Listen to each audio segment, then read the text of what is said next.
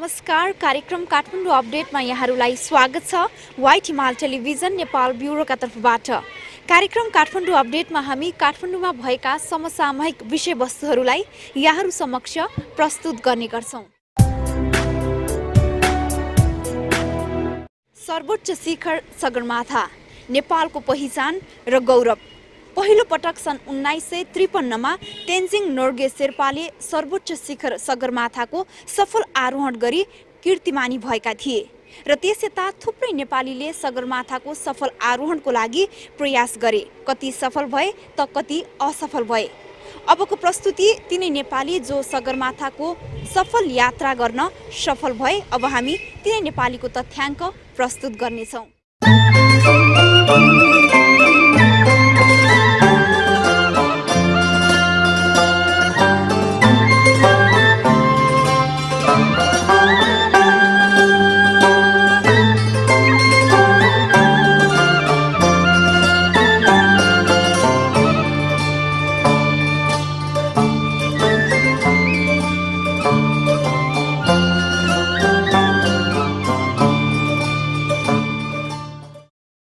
नेपालको इतिहासमा सगरमाथा लगायत अन्य हिमालहरूको सफल आरोहण गरी विश्वमा कीर्तिमान राख्ने कार्यमा शेर्पाहरू अग्रणी पङ्क्तिमा छन्।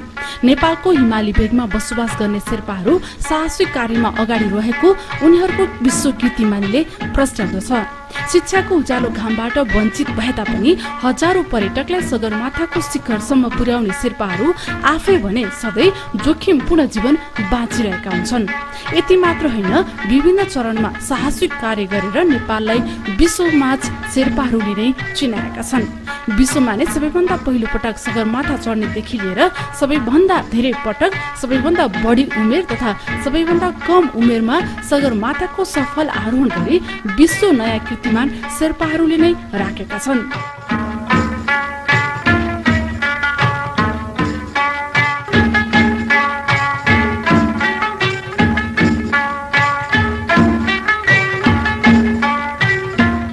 सन् उन्नाइस सय त्रिपन्न मे उन्तिसमा विश्वमा नै सबैभन्दा पहिलो मानिसको पाइलाको रूपमा तेन्जिङ नोर्गे शेर्पाले सगरमाथामा प्रवेश गरेका थिए जसले आज नेपाललाई सगरमाथाको पहिलो सफल आरोही गर्ने देशको रूपमा विश्वमा चिनाएको छ। यसै गरी आप्पा शेर्पाले एक्काइसौँ पटक सगरमाथाको सफल आरोहण गरी धेरै पटक सगरमाथा आरोहण गर्ने व्यक्तिको रूपमा विश्व कीर्ति मानिराखेका छन्। उनले यसअघि आफैले कायम गरेको विश्व रेकर्ड तोडेका हुन्। आप्पाले सन् उन्नाइस सय नब्बेमा पहिलो पटक सफल आरोहण गरेका थिए। उनले पछिल्लो पटक सन् उन्नाइस सय दसको मे महिनामा एक्काइसौँ पटक सगरमाथाको आरोहण गरेका हुन्। यसैबीच सोह्र वर्षको उमेरमा सफल आरोहण गरी तेम्बा छिरी शेर्पाले सबैभन्दा कम उमेरमा सगरमाथा आरोहण गर्ने आरोहीको कीर्तिमान राख्न सफल भएका छन्। कम समयमा सगरमाथाको सफल आरोहण गरी विश्व कीर्तिमानी राख्ने पनि शेर्पाहरू नै छन् पेम्बा दोर्जे शेर्पा र बाबु छिरी शेर्पाले सबैभन्दा कम समयमा सगरमाथाको सफल आरोहण गरी अर्को कीर्तिमानी राखेका हुन् भने कृत्रिम खुट्टाको प्रयोगले आरोहण गरी नङबा शेर्पाले विश्व कीर्तिमानी राखेका छन्। यति मात्र होइन महिला शेर्पाहरूले पनि सगरमाथाको आरोहण गरी विश्व कीर्तिमानी राख्न उत्तिकै योगदान दिएका छन्। छुरिम शेर्पाले एकै सिजनमा दुई पटकसम्म विश्वकै सर्वोच्च शिखर सगरमाथाको आरोहण गरेर विश्व कीर्तिमानी राखेकी हुन्। सन् दुई हजार बाह्र मे बाह्रमा आरोहण गरी बेस क्याम्प पुगेर बिरामी परेपछि एक हप्ताको आरामपछि मे उन्नाइसमा दोस्रो पटक उनले सगरमाथाको आरोहण गरेकी थिइन्। यसै गरी पासङ लामु शेर्पाले पहिलो नेपाली महिलाको रूपमा सगरमाथाको सफल आरोहण गरेकी छिन्।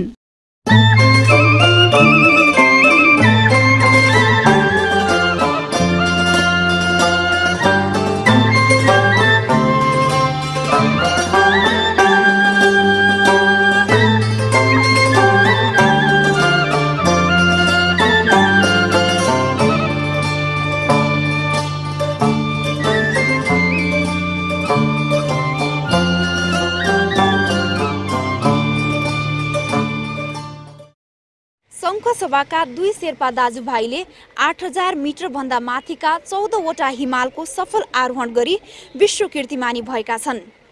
र तिनै दुई दाजुभाइको हिमाल यात्रा कस्तो थियो त? अबको प्रस्तुति सोही सम्बन्धमा तयार पारिएको एक रिपोर्टको। विश्व कीर्तिमानी राख्ने क्षेत्रमध्ये एक हो हिमाल आरोहणको क्षेत्र। यस क्षेत्रमा सबैभन्दा बढी सगरमाथा आरोहण सबैभन्दा बढी उमेरमा सफल आरोहण तथा सबैभन्दा कम उमेर सफल आरोहण गरी नेपालीहरूले पहिले नै आफ्नो साहसिक पहिचान विश्वभरि दिइसकेका छन्। यही क्रममा एउटै आमाको कोखबाट जन्मेका सहोदर दुई दाजुभाइले आठ हजार मिटरभन्दा माथिका विश्वका चौध हिमाल चढी अर्को साहसिक काम गरेका छन् जुन विश्वमा नै पहिलो पटक हो। शङ्खसभामा जन्मेका मिङमा शेर्पा तथा छाङदावा शेर्पाले